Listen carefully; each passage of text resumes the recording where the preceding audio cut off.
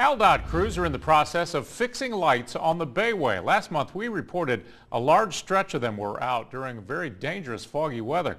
Local 15's Andrea Ramey joins us live in the newsroom tonight.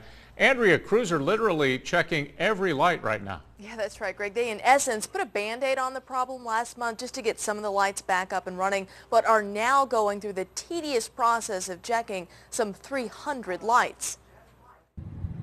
We showed you how dark the Bayway was last month just as dense fog hit the area. A two-mile stretch of lights was out. It's like stripes on the zebra.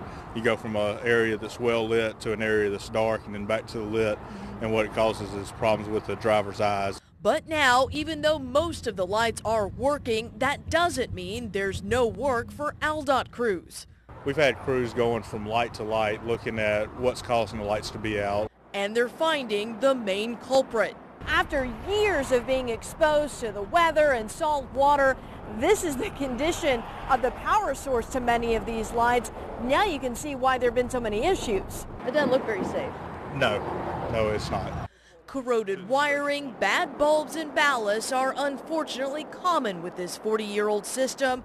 And now, light by light, those issues are being addressed. It's a constant nightmare to, to maintain them. I can fix everything today and then come back Monday and I will have lights out again to go back and repair. So it's constant tax on our resources.